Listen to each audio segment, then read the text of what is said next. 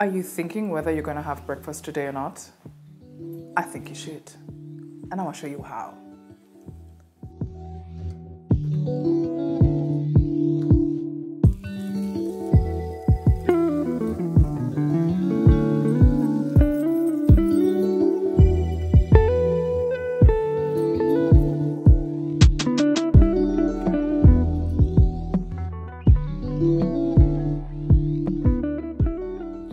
Ever thought that avocados actually don't owe you to go to the group of schools?